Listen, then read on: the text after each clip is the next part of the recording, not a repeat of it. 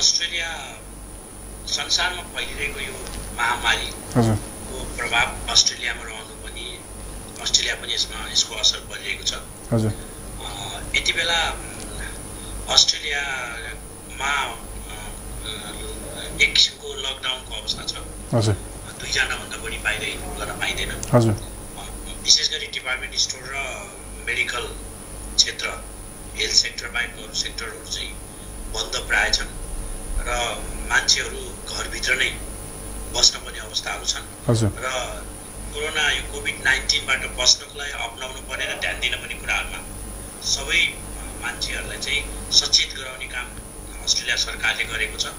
र विशेष गरी कामहरू बन्द भएको कारणले गर्दाखेरि यहाँको नागरिकहरूलाई कसरी सहयोग गर्न सकिन्छ भन्ने कुराको विभिन्न क्षेत्रबाट सरकारी स्तरबाट राहत कार्यक्रमहरू ल्याएको अस्ट्रेलियामा लगभग एक लाख पचास हजारभन्दा बढी नेपाली जनसङ्ख्या रहेको छ र त्यसमा चाहिँ लगभग सत्तरी हजारको हाराहारीमा नेपाली विद्यार्थीहरू अध्ययनरत छन्।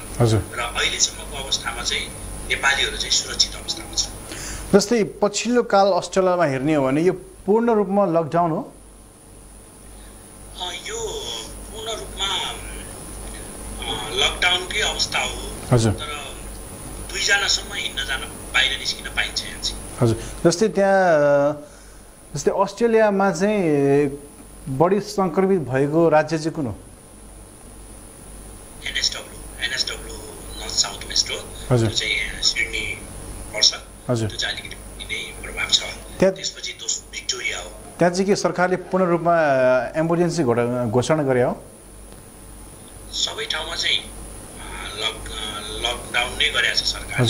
हजुर। बाहिरबाट एउटा स्टेटबाट अर्को स्टेटमा पनि आउन दिइरहेको छैन। हजुर। त्यो कारणले गर्दाखेरि चाहिँ सबै स्टेटहरूमा एकै प्रकारबाट चाहिँ लकडाउन भएको छ। हजुर। जस्तै पछिल्लो अवस्था हेर्ने हो भने तपाईँ अस्ट्रेलियाको लागि राजदूत अस्ट्रेलियामा लाखौँ हजारौँ नेपालीहरूको यतिखेर बसोबास गरिरहेका छन्। ती सबै नेपालीहरूको यहाँले अभिभावकत्व ग्रहण गरिराख्नु भएको छ। के छ अहिले नेपालीहरूको पछिल्लो अवस्था अस्ट्रेलियामा अ, वास्तवमा म, नेपालीहरू चाहिँ सुरक्षित नै छन् अहिलेसम्म र नेपालीहरूमा पनि त्यो सङ्क्रमण देखिएको थियो। हजुर। टास्मेनियामा एकजनालाई भिक्टोरियामा तिनजनालाई र एनएसडब्लुमा सिडनीमा चारजनालाई। टोटल आठजनामा चाहिँ सङ्क्रमण देखिएको थियो। र अहिले टास्मेनियाको अ, अगाडि नै उहाँ सन्चो भएर काममा गइसक्नु भएको छ।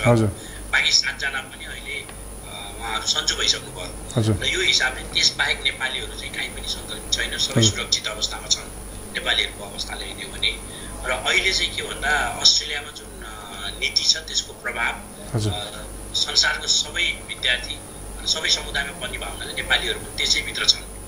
जस्तो यहाँको स्थायी बासिन्दा र यहाँको नागरिकहरूको लागि अस्ट्रेलिया सरकारले विभिन्न कार्यक्रम ल्याएको छ र जो एक वर्षभन्दा बढी यहाँ बसोबास गर्नुभएको छ उहाँहरूको लागि पनि उहाँहरूको सुपर एनिमेसन फन्ड निकालेर यहाँको सञ्चय कोष भने जस्तो फन्ड निकालेर उहाँले आफ्नो प्रयोग गर्न पाउनुहुनेछ।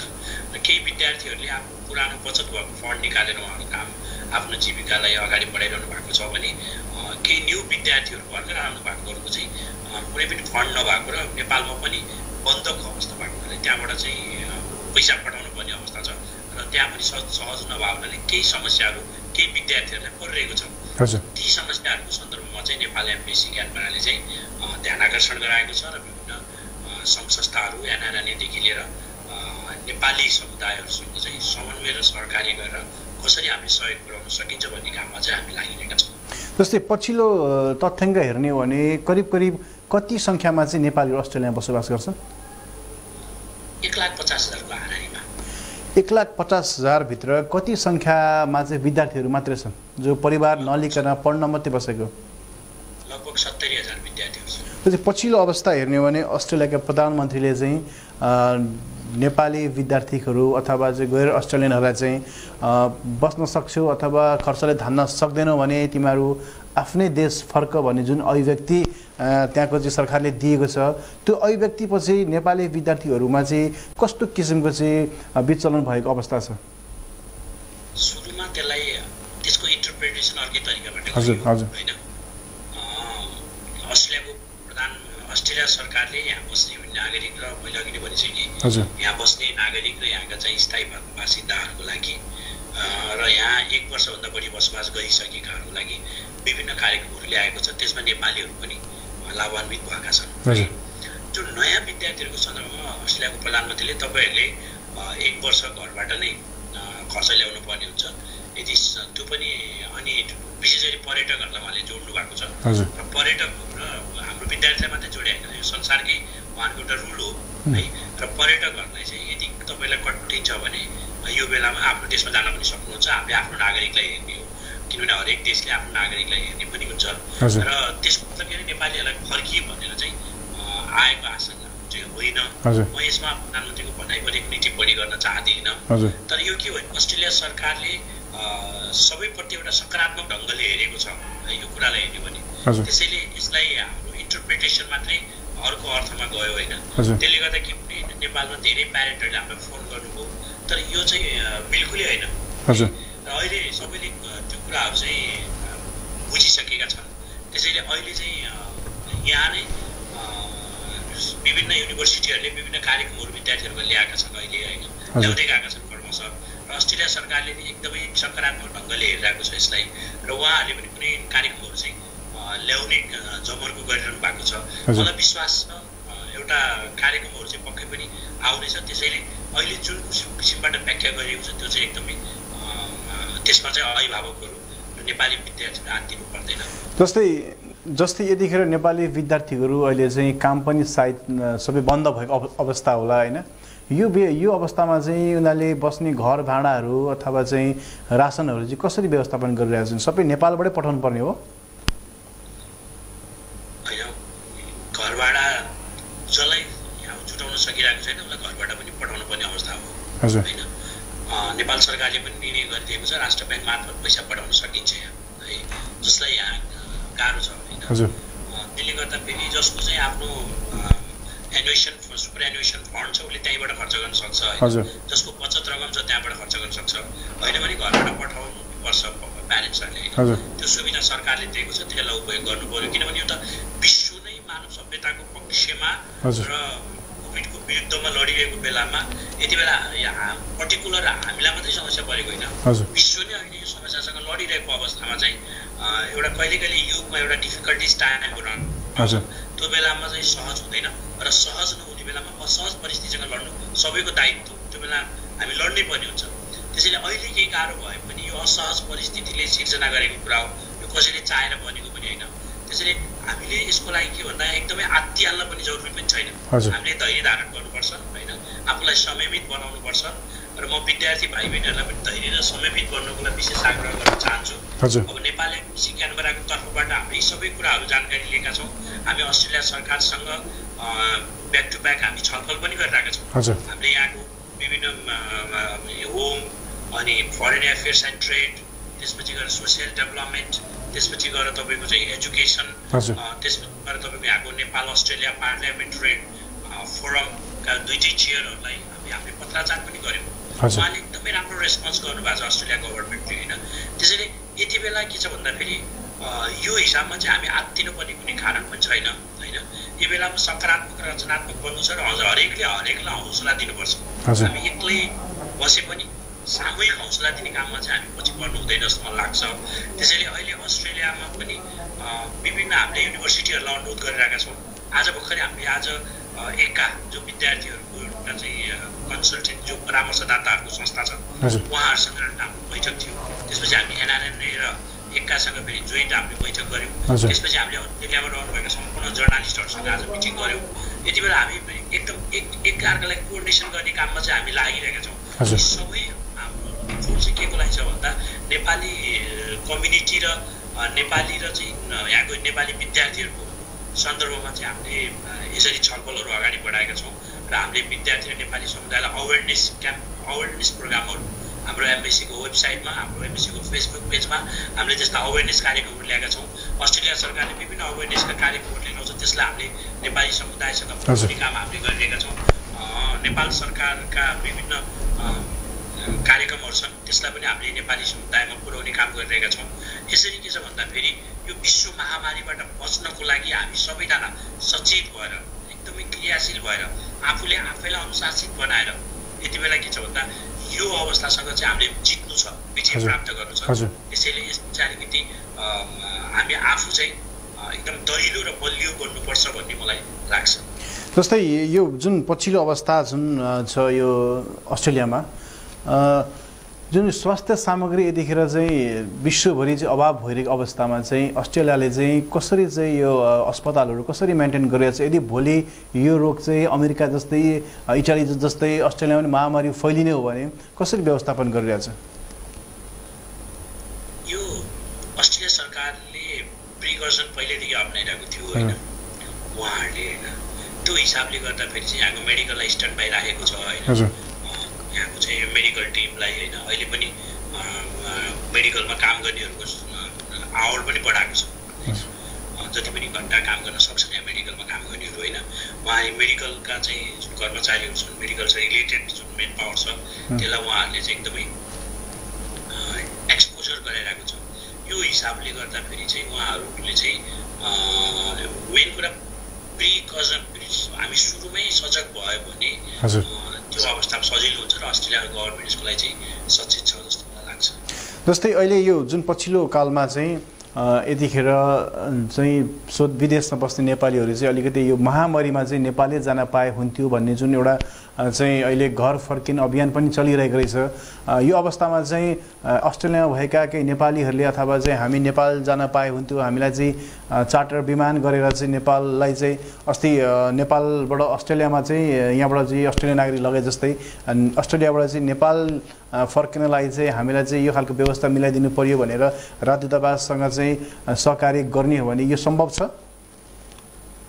राजदूतावासले मात्रै चाहेर हुँदैन नेपाल सरकारको पोलिसी के छ भन्दाखेरि नेपाल सरकारमा अहिले ट्राभल ब्यान छ। हजुर। कोही पनि त्यहाँ जान सकिँदैन है।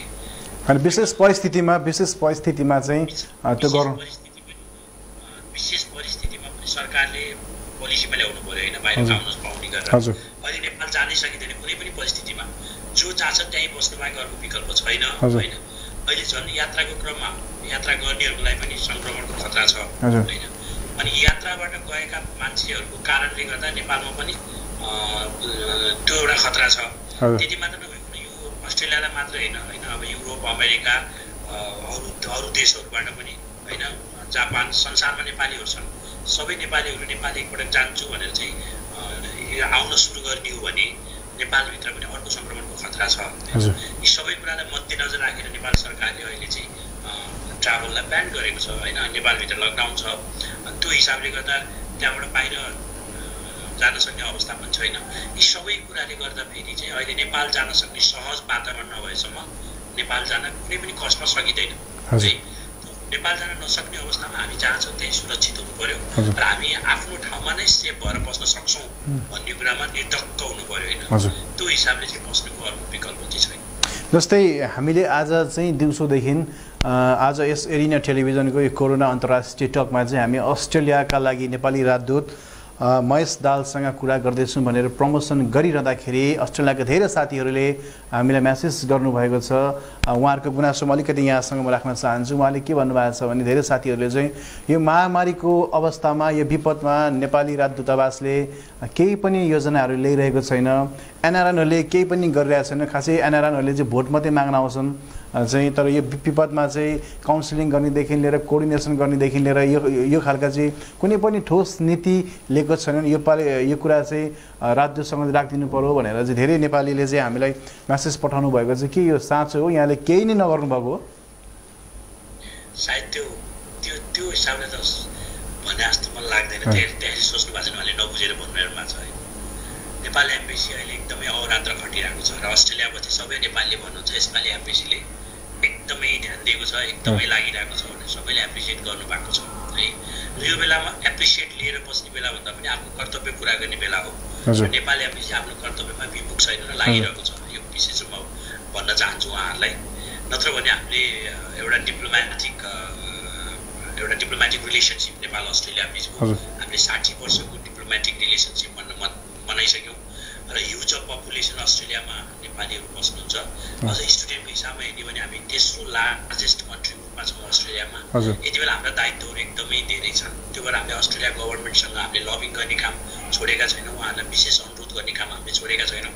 र उहाँहरूले पनि हामीसँग रेस्पोन्स गरिरहनु भएको छ। दोहोरो नेपाली विद्यार्थीको सन्दर्भमा नेपाली समुदायप्रति उहाँहरूले हेर्ने दृष्टिकोण यति सकारात्मक छ कि यति पोजिटिभ यति क्रिएटिभ छ कि नेपालीहरूप्रति उहाँहरूको एकदमै ठुलो विश्वास छ।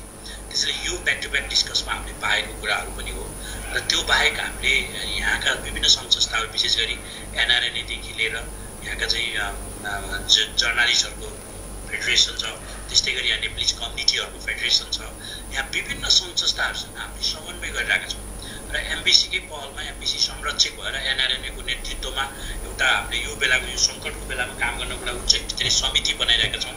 हामीले एकदम खानालाई नै प्रब्लम भएको विद्यार्थीहरूलाई पनि हामीले एनआरएनएकोले चाहिँ अहिले राहत वितरण गरिरहेको छौँ उहाँहरूलाई होइन? त्यो बाहेक अप्ठ्यारोमा परेका समस्या परेका विद्यार्थीहरूलाई कसरी सम्बोधन गर्ने भन्ने सन्दर्भमा पनि हामीले डे टु डे हरेक दिन हामी बैठक गरेका छौँ। हामीले नयाँ नयाँ कार्यक्रम नयाँ नयाँ इन्फर्मेसनहरू उहाँहरूलाई हामीले दिने गरेका छौँ। र अहिले एमबिसीले एउटा फर्म डेभलप गरेर विद्यार्थीहरूलाई फर्म भर्नको लागि दिएको छ।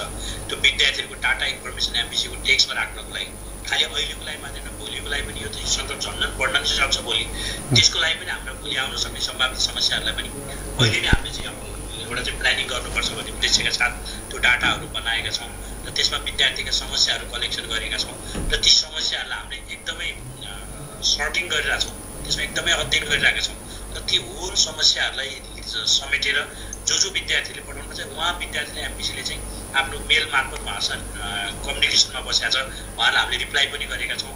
र उहाँलाई हामी नाथ दिनुहोस् धैर्य गर्नुहोस् अस्ट्रेलियामा रहँदा हामी एउटा गार्जेन एमपिसी त्यसैले साना साना भाइ बहिनीको लागि हामी गार्जेनको रूपमा उहाँहरूको बुवा आमा नेपालमा भए पनि हामी बुवा आमा जस्तो बसेर उहाँहरूलाई हामीले हरेक पटक उहाँहरूलाई अवेर गरिरहेका छौँ कन्भर्सेसन गरिरहेका छौँ।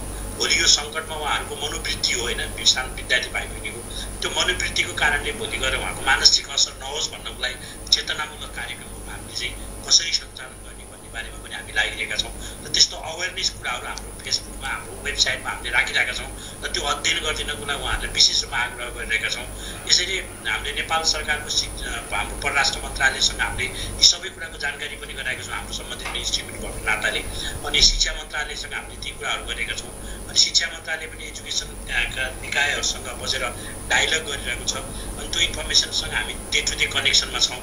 यो हिसाबले गर्दाखेरि चाहिँ नेपाल एमबिसीले केही गरेन चाहिँ त्यो चाहिँ सायद त्यो चाहिँ कसरी मैले कसरी भनौँ होइन केही गरेन भन्न जस्तो। भनेपछि अस्ट्रेलियामा भने अस्ट्रेलियामा आजसम्मको अवस्था हेर्ने हो भने सबै नेपालीहरू सुरक्षित छन्। आजको मितिसम्म नेपालीहरू सुरक्षित छन्। भनेपछि त्यहाँका विद्यार्थीहरूले चिन्ता लिनु पर्दैन चाहिँ नेपालबाट गएका विद्यार्थीहरूको लागि चाहिँ अस्ट्रेलियन एम्बेसी एकदम ढुक्क छ। चिन्ता गर्नु पर्दैन चिन्ता गरेर केही हुनेवाला पनि छैन हामीले चिन्तन गर्ने गुरु होइन चिन्ताले केही गर्न सकिँदैन किनभने सबैमा आएको महामारी हो सबैमा आएको समस्याहरू हो होइन हामीसँग केही विद्यार्थीहरूमा आएको समस्या सबैमा त्यो छैन होइन कति धेरै यहाँ बस्नु भएको छ काम गर्नु भएको छ उहाँको सर्भाइभ हुन सक्ने अवस्थाहरू धेरै छन् केही नयाँ विद्यार्थीहरूमा चाहिँ तत्काल आउनु भएको र तत्काल नेपाल बन्द भएको मतलब अहिले लक भएको होइन त्यो कारणले गर्दा फेरि उहाँहरूलाई केही समस्याहरू छन् उहाँहरूले हामीलाई अवगत पनि गराइरहनु भएको छ। या बिचमा कन्भर्सेसन भइरहेको छ उहाँहरूसँग हाम्रो। उहाँहरूको बारेमा हामीले जानकारी पनि राखिरहेका छौँ। र त्यसलाई कसरी सल्युसन गर्ने भन्ने बारेमा हामी अरू संस्था पनि समन्वय गरिरहेका छौँ। अस्ट्रेलिया गभर्मेन्टलाई अनुरोध गरेका छौँ युनिभर्सिटीहरूलाई अनुरोध गरेका छौँ। युनिभर्सिटीले बिस्तारै कार्यक्रमहरू ल्याइरहेको छ प्याकेजहरू विभिन्न युनिभर्सिटीहरूले। अब यो बिस्तारै भोलि पर्सि आउँदैछ। त्यसले गर्दा आत्तिहाल्न पनि अवस्था विद्यार्थीको छैन। त्यसरी म प्यारेन्ट्सहरूलाई नेपालमा रहनुभएको उहाँको अभिभावकहरूलाई पनि जुन हल्ला आएको छ त्यसमा चाहिँ आत्तिनु पर्दैन। म उहाँहरूलाई ढुक्क हुनुको लागि आग्रह गर्छु र हामीले विद्यार्थीहरूलाई भनेको छौँ। केही समस्या भए एमबिसीलाई भन्नुहोस्। हामीले हटलाइनहरू दिएका छौँ। चौबिसै घन्टा हामी स्ट्यान्ड बाई भएको समस्याहरूलाई डिल गरिरहेका छौँ होइन? अनि उहाँहरूलाई केही समस्या भए एमबिसीलाई भन्नुहोस्। कुनै रोगको कुनै लक्षण देखा पऱ्यो। कोरोनाको कुनै लक्षण देखा पऱ्यो भने स्वास्थ्य केन्द्र या एमबिसी अथवा हाम्रो अनररी कन्सल्टेन्टहरूलाई खबर गर्नुहोस् भनेका छौँ। उहाँहरूलाई सबैको नम्बरहरू हामीले उपलब्ध गराइदिएका छौँ। र हामीले इच विद्यार्थी जसले फर्म भर्नुभएको छ नि इच विद्यार्थीलाई सबै हाम्रो उहाँको मेलमा पनि हालिदिएका छौँ। त्यसरी हामी चाहिँ एउटा एज अ प्यारेन्ट्सको रूपमा चाहिँ उहाँहरूलाई हामीले अहिलेसम्म चाहिँ ह्यान्डल गरिरहेका छौँ। यो हाम्रो दायित्व पनि हो भने हामी सक्दैनछौँ जस्तै अब तपाईँ अस्ट्रेलिया मात्रै नभएर न्युजिल्यान्ड र फिजी पनि हेर्नुहुन्छ। तपाईँ यतिखेर तिनवटा देशको चाहिँ नेपालीहरूको अविभागत्व गरेर चाहिँ बसिराख्नु भएको छ। पछिल्लो अवस्था न्युजिल्यान्ड र फिजी पनि बताइदिनुहोस् न। कति नेपालीको जनसङ्ख्या छ त्यो न्युजिल्यान्ड र फिजीमा?